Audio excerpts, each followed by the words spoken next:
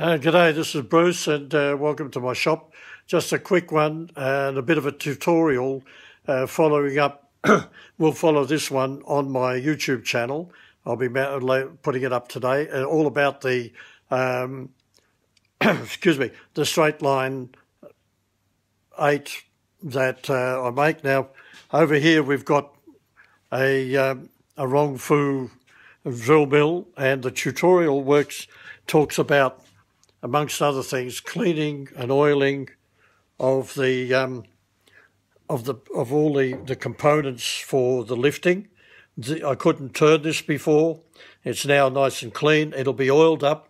It's basically get rid of all the grease and everything off uh, from the supply and fix it up. And uh, anybody interested in the Truline 8, they can get in touch with me uh, and we can